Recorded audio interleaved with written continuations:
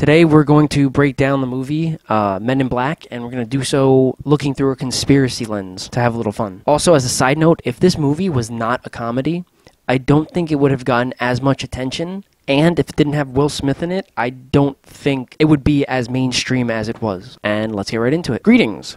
This analysis will be a bit different today. If you're new here, don't take anything too serious or as a fact. And if you disagree or have a different opinion, then please share it in the comments below. Without further wait, let's begin. The scene opens up with stars and bugs, as though to give us a comparison with our position in the universe. As quickly as we come in, our life quickly runs out. We are all here for just a moment, and it's gone in a flash. Wandering through our individual lives, hopelessly attempting to make sense of it all. Days and nights pass, evading danger the best we can, and finding work so we're able to eat another day. And as important as we are to the people we love, we are a mere smear on the windshield of a more advanced species. Life will carry on, with or without us. The scene changes, and we are put into a unique situation. A man is carrying quote unquote illegal aliens who are undocumented crossing the border. Roadblock up ahead. Remember that 8 represents the 8 days of the year when the veil between worlds is the thinnest. Pizza also has 8 slices. Hmm, wait a minute. Briefly, we see 375 on the sign. 375 is a highway loop right outside El Paso, Texas, near the city of Juarez. 375, when viewed with gematria, comes out to 15. 3 plus 7 equals 10, plus 5 equals 15. 1 plus 5 equals 6.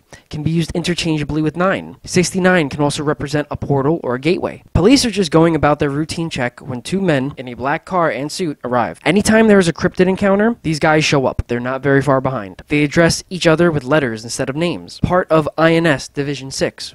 Remember, 6 from a moment ago doesn't allow further dialogue on who they are. As he interacts with each human, he is checking for animation in their bodies and soul in the eyes. Remember, the eyes are the window to the soul. When this individual lacks the animation in the body and exhibits a lack of emotion for the situation, it's a dead giveaway. After Agent K finds who he suspects, then he allows the rest of the people to leave so that he can handle the interaction privately. When he is stopped by the officer, he immediately snaps and says, Sir, you can't just... Don't Sir, me, young man, you have no idea who you're dealing with.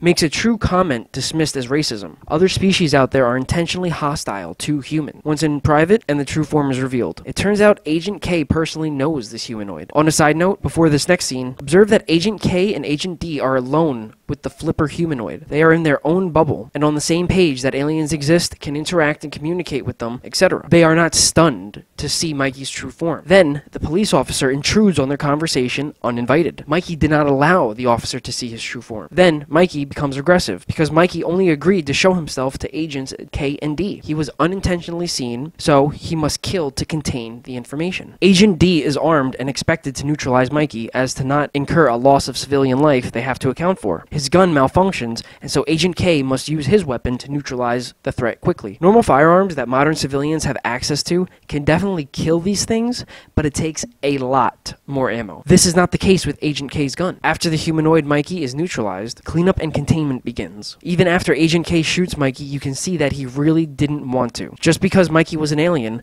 does not mean we just go around and eradicate other species. Can we take a moment to recognize the actor who played this head officer? He screamed for about seven seconds straight without changing the tone up or down. Pretty impressive. The reaction of the officer is usually what happens to people that have an encounter with a cryptid after being told their whole life that monsters are not real. When fairy tales, myths, and legends smash into reality and shatter your notion of what is real. It's a pretty traumatizing event. The other members of the police unit show up to assist. Agent K is controlling the situation and says he will tell you what happened. This statement can be taken literally. They will tell you what you experienced. They will tell you the story to tell your friends and family. Then backup for the agents show up in numbers and with technology to contain the situation. They have an antenna on top of their van, so they were probably notified to move in when Agent K discharged his firearm or when Mikey died. These cryptids are sometimes referred to as assets. As the scene rolls on, we see five symbols on the side of the truck. My interpretation of them are 1. The Eye of Sauron. They have the tech to know where these things are all the time.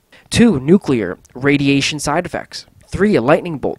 They're an elite unit. They go in and out, as above, so below, gone in a flash. 4. Quarantine. Biological containment. 5. Incineration hide the evidence, again, containment. The men in black use advanced techniques and equipment to quickly end all discussion and destroy all traces of evidence. The witnesses are told what happened, and then everyone is free to go. They already have a cover story, makes a comment that humans are a gullible breed. Is he including himself? In this example, he is saying a gas line was ruptured and exploded, then provides evidence while containing panic. Tells him to get checked out with the EMS. Why?